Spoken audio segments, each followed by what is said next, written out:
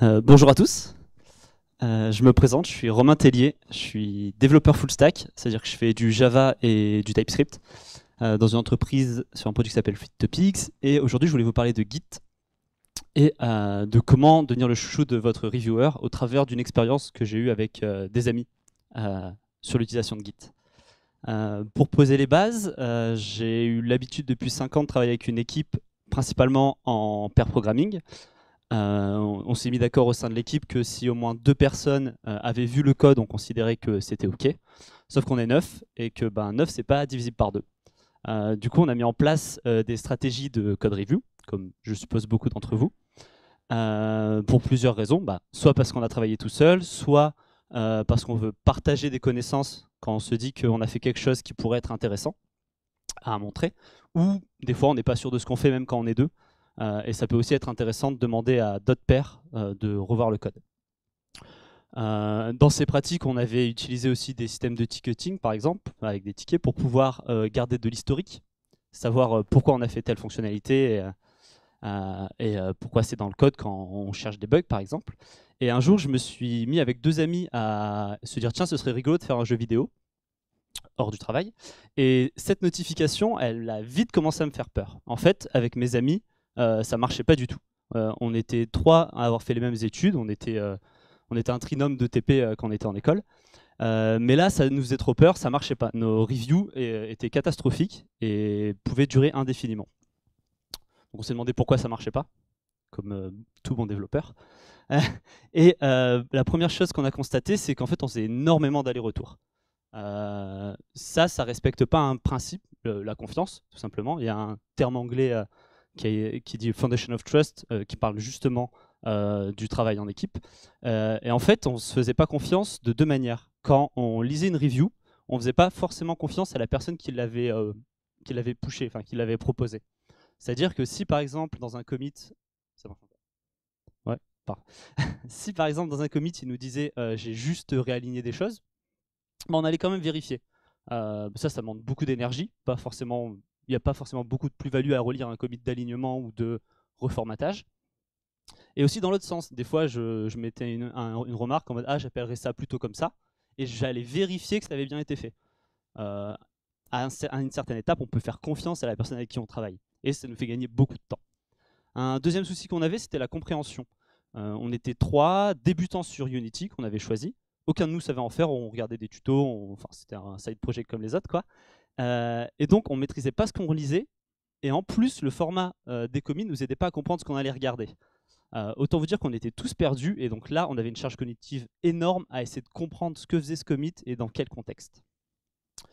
et enfin, donc on, avait une hétérogénéité des pratiques qui venait de nos habitudes de travail dans la vie de tous les jours, où ben, en étant trois de trois équipes différentes, on n'avait pas du tout la même démarche et on visait pas la même chose. Euh, de là, du coup, on s'est demandé bah, comment on va faire pour réduire toute cette charge cognitive qu'on s'est ajoutée en essayant de travailler ensemble alors qu'on n'a pas l'habitude. Et euh, donc, dans un premier temps, pour réduire cette charge cognitive, on euh, s'est basé sur bah, l'hétérogénéité des pratiques qu'on avait. Et pour ça, on s'est posé deux questions assez simples. C'est qu'est-ce que c'est un commit? Et qu'est-ce que ça contient une merge review ou une pull request? Pour répondre à ce que contient un commit, on s'est demandé ce que chacun d'entre nous avait l'habitude de faire.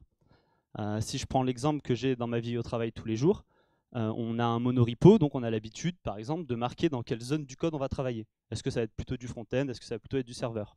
On a aussi l'habitude de commencer nos commits par un, verbe à l'infinitif, en anglais, euh, pour dire ce qu'on va faire dans le commit. Après, d'essayer d'être précis et d'expliciter l'intention qu'il y a dans le commit. Euh, le monorepo, ça se prêtait pas trop à notre projet de jeu vidéo, mais on s'est dit, tiens, est-ce qu'il existe des règles sur étagère? Là, il y a par exemple Conventional Commit qui nous permet euh, d'avoir ça, du nommage, avec des, euh, préfixes comme fix ou feature, enfin fit, pour décrire ce qui est fait dedans. Et donc, on s'est mis d'accord ensemble sur une, règle qu'on allait respecter pour les commits. Dans le second temps, quand on s'est demandé ce que contient une merge request et a fortiori une branche, puisqu'au final, une merge request, ça va être juste rapatrier une branche de travail sur, euh, sur la branche ou les branches principales, euh, ben, on s'est dit tiens, euh, nous de notre côté, et on était tous d'accord sur ça, on avait l'habitude de bosser avec des tickets et de se dire bah, une branche en fait c'est une story ou un bug ou quelque chose comme ça. Et, de là, on s'est dit, bah mince, c'est peut-être ce, ce qui nous manque dans notre side project, de pouvoir bien définir ce qu'on va faire dans une branche. Et donc, on a mis en place un système de ticketing assez classique. On a utilisé Trello parce qu'on n'avait pas énormément d'idées. Euh, et ça, ça nous a permis justement de mieux comprendre ce qu'on allait regarder quand on regardait une MR. Il suffisait d'abord de lire le ticket et on comprenait déjà ce que la personne voulait faire sans même avoir commencé à regarder le code. Donc on a mis ça en place euh, et euh, par la suite, on s'est dit mince, il y a encore un problème. On a encore beaucoup de charges cognitives quand on relit le code et donc on s'est plus intéressé à ce qu'il y avait dans les commits. De là, je vais vous présenter trois contre-exemples qu'on a retrouvés très souvent, en commençant par celui-ci, le commit. Euh, je ne sais pas si vous l'avez déjà rencontré, mais c'est euh, votre, euh, votre collègue qui vous dit Ah ben tiens, tu peux regarder, j'ai fini la feature. Et quand on regarde, bah, on a un commit qui dit J'ai fait ce qu'on m'a demandé de faire. c'est très bien. Mais euh, ben, quand j'ouvre une merge request et que je vois tous ces fichiers, tous ces, tous ces ajouts, pardon,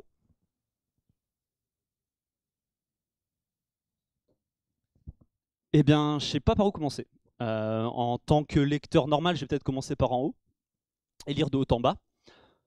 Peut-être que je vais essayer d'être un peu plus intelligent et me dire que je m'en fous de lire les modèles, je vais commencer par lire les tests, mais on sent bien qu'on ne sait pas trop ce qu'on veut nous demander de faire. Et de là, il y a un- une étude d'un chercheur et de son équipe, Alberto Baccelli, euh, qui s'appelle How Code Review Works and Doesn't, dans laquelle il a fait une expérience assez simple où il a demandé à deux groupes de lire la même euh, review de code, dans laquelle il y avait deux bugs. Un bug, celui qui est dans le fichier euh, tout en haut à gauche, a.java, euh, qui est un bug pas très grave. On peut dire euh, par exemple un décalage de pixels sur un écran. Et un bug très critique pour l'application, celui tout en bas en e.java. Là vous l'avez vu, il y a un groupe qui aura le bug critique tout en bas de la MR, enfin de ce bloc de code à relire, et l'autre qui l'aura au début. Bon bah vous vous en doutez sûrement, mais celui qui l'avait tout au début l'a trouvé 2,5 fois plus souvent. Et, euh, et donc de ça, on peut se dire, bah ok, cool, mais moi je sais pas où sont les bugs dans la review de code que je demande. Enfin, j'espère que vous savez pas où sont les bugs dans les reviews de code que vous pushez. Euh, et et d'où l'intérêt de se dire, bah ok, je vais découper en blocs plus petits pour effectivement trouver plus facilement euh, ces bugs critiques.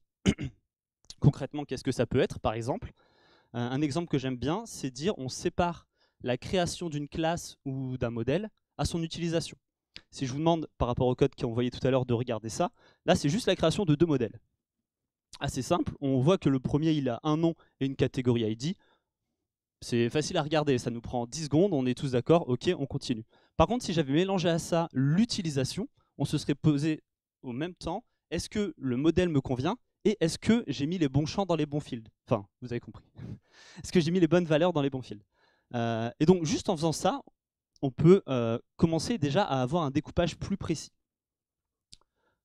Autre piège dans les commits, celui des commits pas représentatifs du travail. Alors là, c'est pas le projet qu'on a fait l'an dernier parce qu'on est, c'est quand on était étudiant avec mes amis.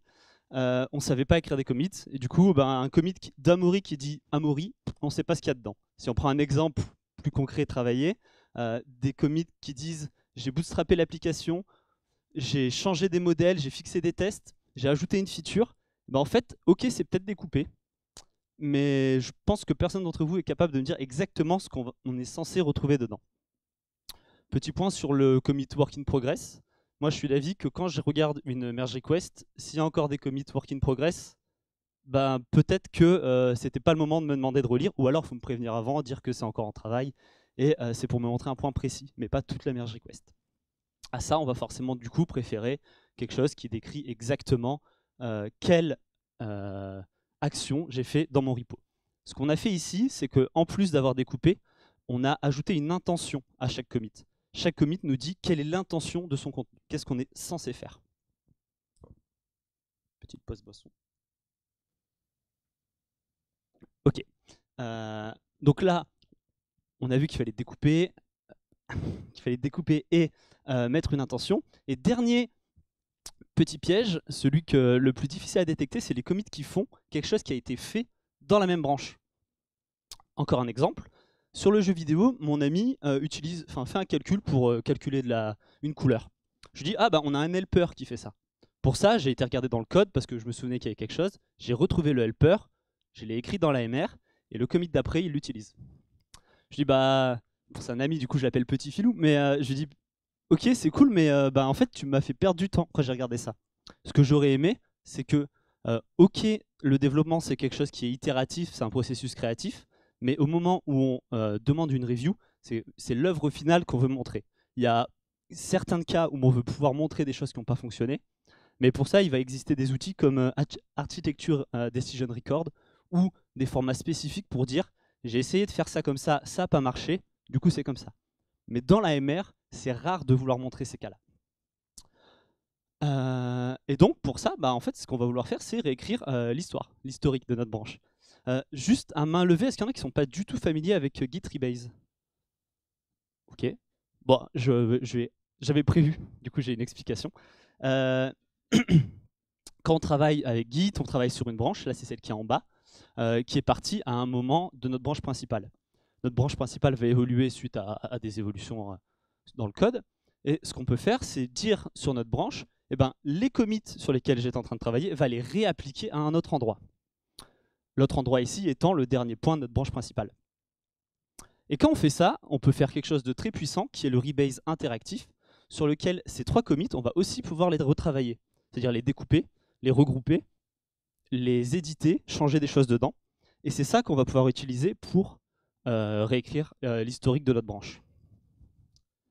Et donc, je vais vous proposer un exemple pour le faire en live, un exemple assez facile où on a un premier commit qui contient une coquille.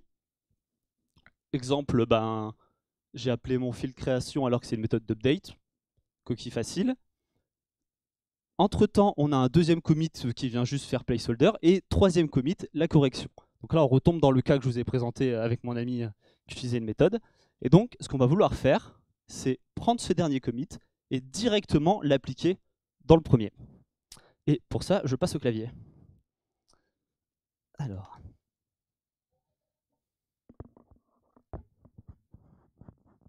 Ok, j'espère que vous m'entendez toujours. Donc, euh, là, si on regarde donc mes trois commits, on a celui dans lequel je vais vouloir appliquer ma différence, un commit placeholder au milieu et celui avec la correction. Bien évidemment, la correction que je vous ai montrée, c'était quelque chose de assez simple mais euh, c'est pour, euh, pour faire un exemple. Euh, donc ce que je vais vouloir faire, c'est me rebaser depuis la branche depuis laquelle j'ai créé celle-ci. Là, moi je sais que c'est la 4, donc je fais git rebase-i, le -i c'est pour interactif, et je lance la commande. Donc là je retrouve, dans le schéma tout à l'heure, c'est mes, mes trois cercles, mes, mes trois cercles bleus, et donc je vais pouvoir m'amuser à les modifier. Dans un premier temps, je peux aller déplacer une ligne. Donc là, je vais prendre le fixe que je vais mettre en deuxième position. À ce moment-là, euh, quand, je vais, quitter euh, euh, ce rebase et, le continuer, hop, c'est appliqué. Là, on a réordonné nos, pardon, on a réordonné nos commits. par la suite, ce qu'on va vouloir faire, c'est mettre ce commit de fixe directement dans le précédent. Donc là, comme tout à l'heure, on utilise le rebase interactif et on va utiliser l'option fixup. Alors, F ou fixup en entier. FixUp, ce que ça va faire, c'est un petit peu, euh, si vous avez l'habitude d'utiliser Git, c'est un petit peu comme quand on fait Amend, sauf que là, ça va être dans, euh, au moment du rebase sur le commit précédent. Donc je valide ça, et donc quand je regarde, j'ai bien plus que mes deux commits, et le tout premier contient directement la modification. Alors c'est un petit peu tronqué, je ne sais pas si vous voyez tout, mais c'est bien écrit update du premier coup. Donc ça, c'est comment on le fait en ligne de commande, euh, mais euh, moi j'ai plus l'habitude d'utiliser des outils graphiques.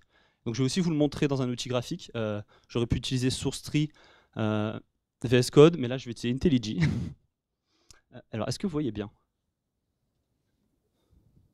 Ok. donc là, j'ai deux commits. J'ai celui où on ajoute la méthode au contrôleur, et tout à l'heure dans mes exemples, je vous ai dit, tiens, ce qui peut être bien, c'est de séparer la création d'une classe ou d'un modèle à son utilisation. Là, on voit qu'on a un modèle de créer et utilisé directement euh, dans le même commit. On va décider de les séparer. Pour ça, IntelliJ nous propose, comme euh, dans le terminal, de faire un rebase interactif. Donc interactively rebase from here, par exemple. Et donc, on retrouve euh, nos deux commits. Là, on va pouvoir travailler dessus en changeant l'ordre, en proposant de fixe P, par exemple, comme ce qu'on a fait via le terminal, mais on peut aussi proposer de mettre une pause. Mettre une pause, ça permet de passer en mode édition. Donc on va s'arrêter au moment du rebase sur ce commit et, euh, l'éditer. C'est ce qu'on va faire. Et on va commencer euh, le rebase. Donc là il commence. Ça tombe un petit peu. Ah. Je vais le tenir, c'est pas grave. Donc là, le rebase a commencé et il s'est arrêté. Ce qui veut dire qu'on n'est plus tout à fait sur notre branche, on est en train de faire un rebase. C'est ce qu'on voit ici. Dans mon terminal, je suis plus sur la branche. Et, et donc, on va vouloir refaire ce commit. Là, dans ce qu'on peut faire, c'est le défaire pour le refaire, puisqu'il y a deux fichiers, mais on pourrait imaginer aller plus dans l'édition, plus précis, et sélectionner que certaines sous-parties du code. Donc, je défais le commit, et là, j'ai préparé déjà des messages de commit, euh, création du modèle et création du contrôleur. voilà. Euh, donc là, on est encore dans notre étape de rebase. Vous voyez, IntelliJ me propose de continuer ce rebase. Je vais utiliser le bouton, mais c'est comme euh, faire git rebase-continue euh, dans le terminal. J'utilise le bouton, ça me dit que tout, tout s'est bien passé parce qu'on était sur un cas simple et qu'il n'y a pas eu de conflit. Et voilà, là, si je regarde de nouveau mes trois commits, j'ai bien la création du modèle, la création de la méthode et mon commit qui était placeholder. Donc là, je me suis un petit peu amusé à réécrire l'historique. Bien évidemment, euh, c'est sur un exemple, c'est sur un exemple assez simple, mais c'est pour euh, pouvoir vous le montrer. Et vous en faites pas, à force euh, de faire, vous aurez l'habitude de regarder, de savoir comment mettre un commit dans un autre. Si vous vous trompez, il existe une commande gitreflog, R-E-F-L-O-G, qui vous permet de vous montrer l'historique de tout ce qui s'est passé dans Git et de pouvoir rattraper des étapes passées. surtout au début, on a assez peur de réécrire l'historique. Ça aide bien à se rassurer de savoir que ça existe. Euh, et donc, si on devait retenir quatre euh, manières, en tout cas, de euh, faire en sorte que vos commits se passent, enfin vos reviews se passent mieux et que vous soyez choyé par votre reviewer, on peut dire que définir vos pratiques d'équipe, ça permettra d'être d'accord sur ce que la personne s'attend à voir et sur comment vous, vous lui montrez. écrire des commits avec une intention, ça, ça permet de raccourcir le temps de compréhension de ce qui est contenu dans le commit. Ne pas avoir peur de retravailler l'historique.